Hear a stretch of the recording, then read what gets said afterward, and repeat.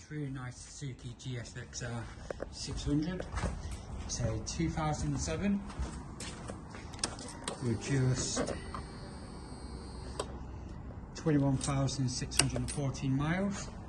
Just a walk around video just to show you any extras on the bike or any marks we'll come across in the valley. Start at the front. All the screens in nice condition.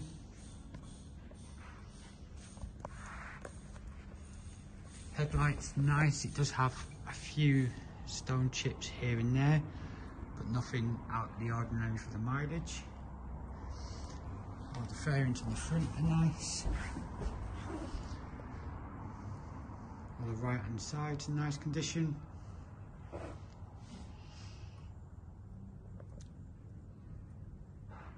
Front wheels nice.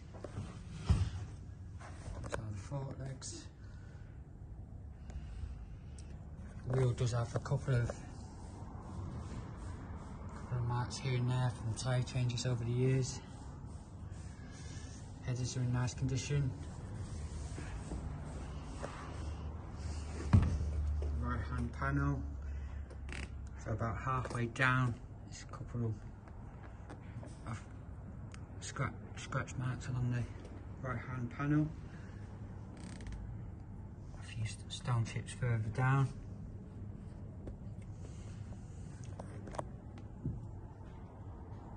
Frames are in nice condition.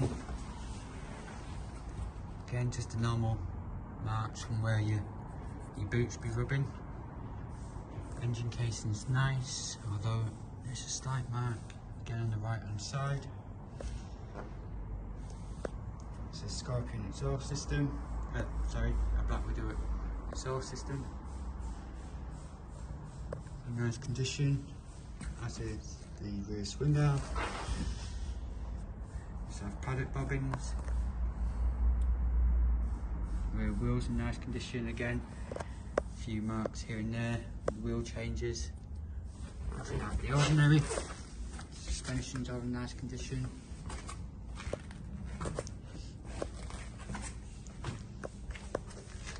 Chain and sprockets in good condition.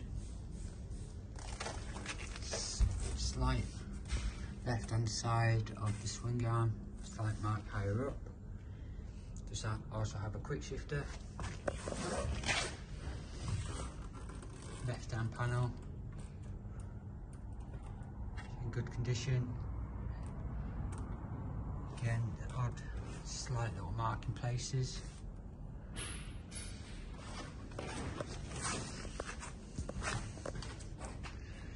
The seat cowls are nice.